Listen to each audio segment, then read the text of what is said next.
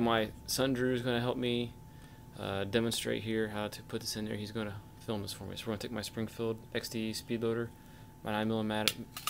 Jasper, we don't want your help. 9 millimeter magazine. So first we'll put the speed loader on here. And then uh, stick my thumb in here, squeeze it down.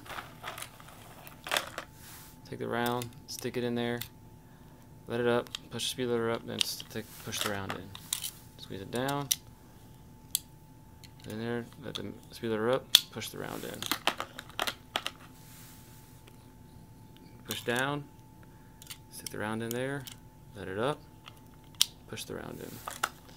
So once you get used to it, you can do it pretty quick. That's it.